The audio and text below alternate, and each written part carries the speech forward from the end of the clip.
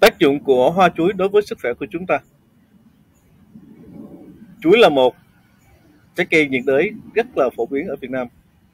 Trong khi quả chuối thì được coi là trái cây vua, lá chuối thì được sử dụng để gói rất nhiều loại bánh truyền thống, tạo hương vị độc đáo, hấp dẫn. Thì hoa chuối, hay người miền Tây gọi là bắp chuối, rất được vô trường trong các món lẩu, canh chua hay là gỏi. Hoa chuối không chỉ là một món ăn ngon mà nó còn mang lại giá trị về dược liệu. Chúng ta hãy cùng tham khảo những lợi ích sức khỏe mà hoa chuối mang lại. Chứa rất nhiều chất dinh dưỡng.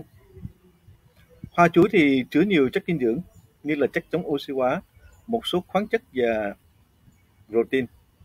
Hoa chuối còn có một lượng chất béo và calo thấp, trong khi hàm lượng chất xơ hòa tan và không hòa tan lại khá cao. Một công trình nghiên cứu đã cho thấy thì chất xơ hòa tan là loại tan được trong nước và tạo thành một loại reo có trong đường ruột, giúp giảm lượng cholesterol và đường huyết. Ngược lại, chất xơ không hòa tan trong nước nhưng lại giúp cho hệ tiêu hóa hoạt động trơn tru hơn và cơ thể cảm thấy là no lâu hơn. Trong 100 gram hoa chuối thì có khoảng là 23 calo, 4 gram carbohydrate, 1,5 gram protein, cùng các loại khoáng chất như là kali, canxi, magie, sắt, kẽm, đồng. Loại hoa này thì cũng cung cấp nhiều amino acid thiết yếu và chất chống oxy hóa, gồm có quercetin, catechin, phenol, saponin và tannin. Các nghiên cứu cũng đã cho thấy là chất chống oxy hóa bảo vệ cơ thể khỏi các gốc tự do và từ đó giảm nguy cơ bệnh tật cho chúng ta rất là nhiều. Hoa chuối giúp giảm cholesterol và đường huyết.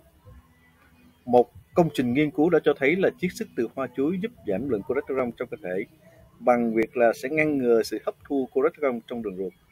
Hàm lượng chất xơ cao trong hoa chuối cũng góp phần vào lợi ích này.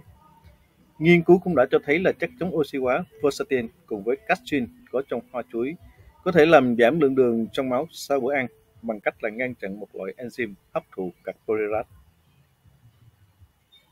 tốt cho hệ thống tiêu hóa. Một thực phẩm có lượng chất xơ cao, cân bằng giữa hai loại chất xơ hòa tan và không hòa tan như hoa chuối thì rất là có lợi cho việc cải thiện sức khỏe của đường tiêu hóa. Các bằng chứng đã cho thấy thì chất xơ có thể giúp cải thiện hệ vi sinh đường ruột và giúp giảm nguy cơ mắc nhiều loại bệnh tật khác nhau. Và đặc biệt, đặc biệt thì ngăn ngừa được phì đại tiến tiền liệt. Một vấn đề thường gặp ở nam giới trên tuổi 50 đó là phi đại tiến tiền liệt. Bệnh đặc trưng bởi các vấn đề đường tiết niệu như là dòng nước tiểu bị yếu, tiểu gắt. Trong y học cổ truyền thì hoa chuối thường được dùng để điều trị các vấn đề về đường tiết niệu. Và công trình nghiên cứu của các nhà khoa học Đài Loan đã cho thấy là các hợp chất chống viêm axit citric và amino acid có trong chiết xuất hoa chuối giúp giảm kích thước giúp giảm kích thước của khối phi đại tiến tiền liệt. Chất chống oxy hóa, quercetin giúp giảm viêm tại tuyến tiền liệt và cải thiện các vấn đề liên quan đến tiểu tiện.